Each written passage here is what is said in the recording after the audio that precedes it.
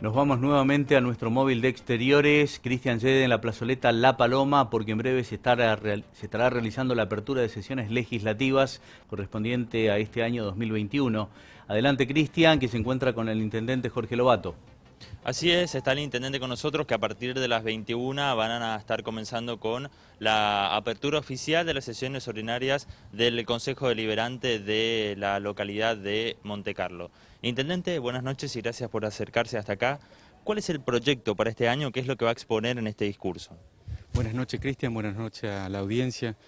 Bueno, es un año atípico, ¿no? Lo hemos dicho muchas veces, así que tenemos, la verdad, mucho para contar mucho para hablar, pero vamos a hacer un, discurso corto de 20 minutos, creo, aproximadamente, donde podamos reflejar lo que ha pasado en el año anterior, que fue complicadísimo, pero también con mucha esperanza, con mucha fe, con muchas ganas de trabajar, con mucha energía en, el año que nos toca, que es el actual, ¿no? Porque entendemos que hay que recuperar un poco esa fe en poder eh, volver a, tener un crecimiento sostenido como lo venimos haciendo, con, muchas obras, con, muchas actividades, como siempre se caracterizó Monte Carlo. ¿no?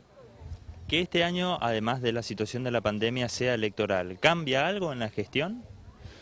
No, es más trabajo. ¿no? Eh, creo que con lo que hemos pasado el año pasado con la pandemia y todavía seguimos, me parece que pudimos mirar mucho para adentro, eso sirvió para que haya más paz social y eso sería bueno que se aplica a la campaña electoral, ¿no?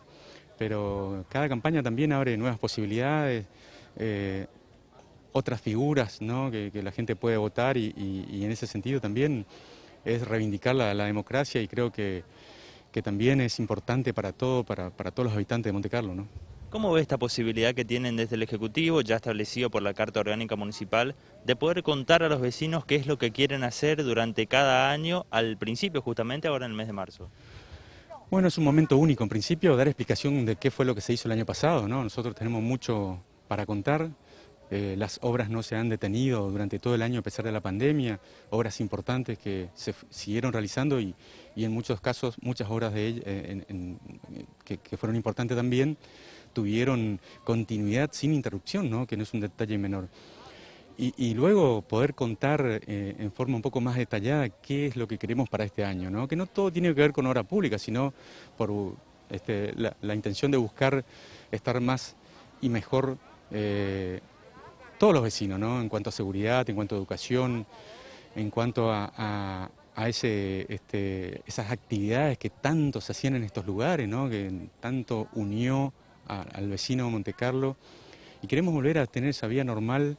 Obviamente la vacuna abre un montón de esperanza y en ese sentido me parece también eh, hay que seguir trabajando. ¿no? Hoy se han hecho invitaciones para que la gente pueda participar, ¿se han tomado las medidas protocolares correspondientes a esta situación de la pandemia? Sí, de alguna manera es un acto que, es muy importante en el año, eh, pero también la pandemia hizo que podamos invitar a poca gente, con todo el protocolo vigente, con el, distanciamiento, en un lugar abierto. Pero bueno, lamentablemente es así, vamos a seguir así por un tiempo más, pero no deja de ser importante y, que la gente, el vecino de Montecarlo pueda mirar a través de Canal 5 en vivo, en directo, eso también habla de, la calidad de instituciones que tenemos en, nuestra comunidad. Desde estudios, no sé si Cristian tiene alguna consulta más para el intendente. Eh, sí, Cristian, le quisiera preguntar al intendente si se van a ir abriendo eh, algunas actividades o permitiendo nuevas actividades, como lo ha hecho, por ejemplo, El Dorado, que ha extendido el horario comercial y evalúa en estos momentos eh, habilitar nuevamente las actividades deportivas de competencia.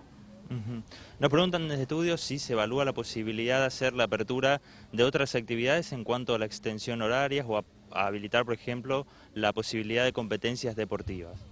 Creo que eso es algo que marca la provincia. Me parece que en los próximos días van a haber noticias con respecto a eso. Estamos hablando muchísimo con cada uno de los ministros porque entendemos que siempre Montecarlo se caracterizó por respetar este, las decisiones que se toman en defensa civil, en el comité de crisis, las decisiones que se tomaban y se siguen tomando desde provincia y nación.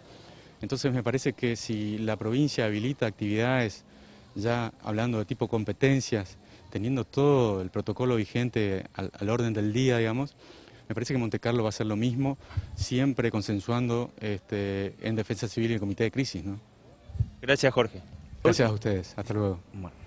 Sí, le pedimos al intendente porque también sabemos que tienen que ir preparándose para la cuestión protocolar para poder comenzar a las 21 con la inauguración oficial de las sesiones ordinarias. Muy bien, gracias Cristian. De esta manera compartíamos una cobertura de lo que está pasando en la plazoleta La Paloma. Por supuesto, mañana estaremos emitiendo todo lo que se ha pronunciado en este contexto que es muy importante y sobre todo atípico, teniendo en cuenta todo el año que se ha vivido en el 2020 y lo que se espera vivir aún en el 2021.